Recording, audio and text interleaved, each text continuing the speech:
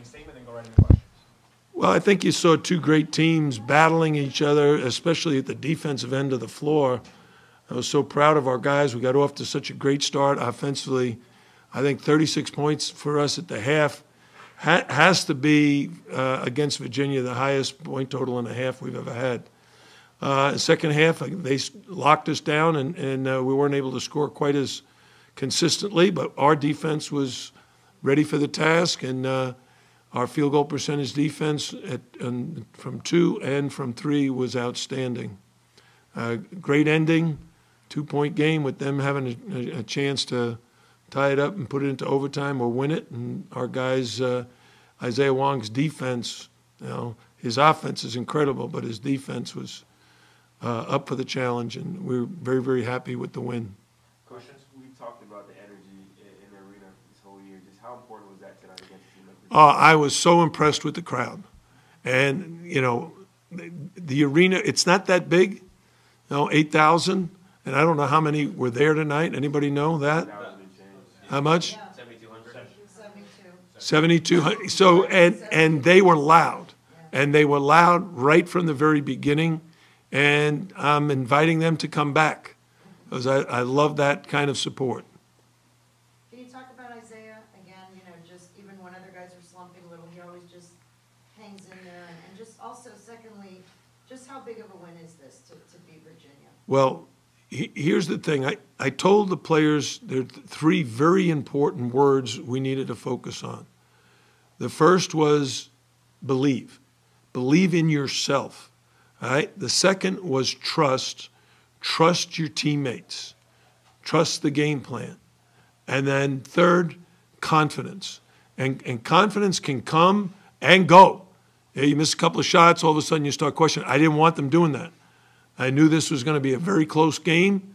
We needed we needed everybody's focus to be on the very positive. All right?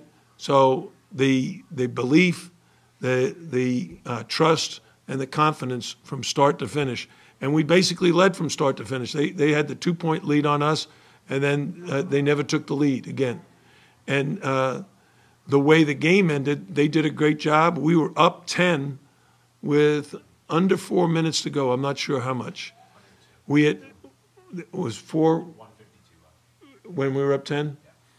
And uh, we didn't have Norchad Omier. So there was great concern, but the guys who were out there did a great job. And, you know, we, we missed some free throws, but we made some free throws. And the whole idea is the, the, the players gave us a nice Christmas present. A little early, but we'll take it.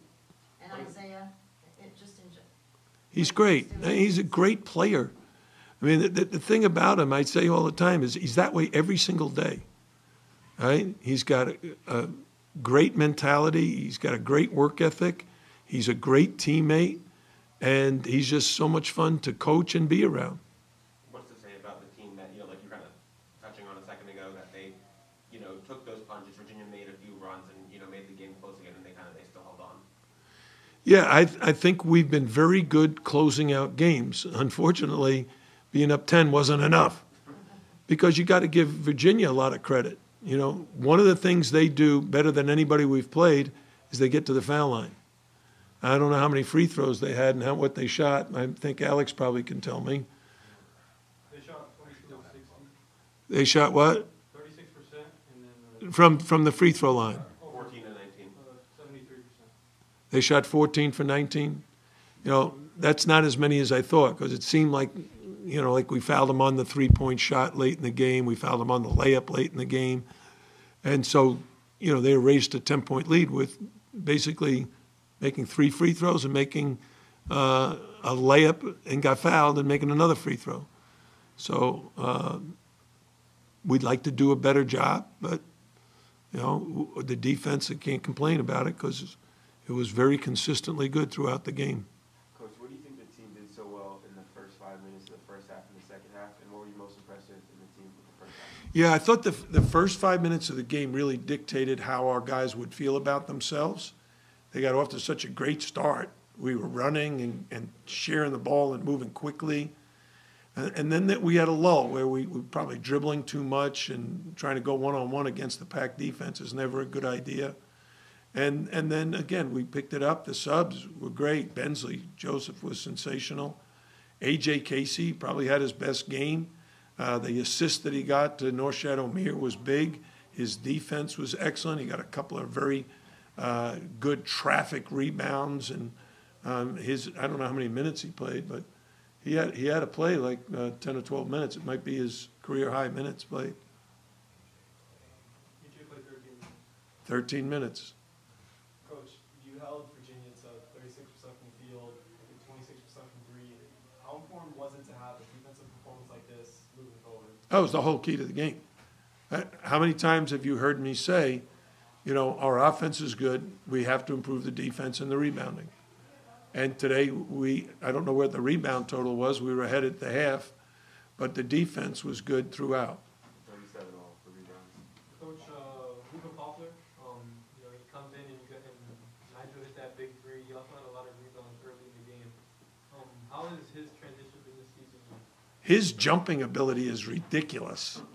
I don't know if you saw one of those rebounds he got. He he was like not not just above the rim, he was above the box. You know, he, he's a tremendous athlete.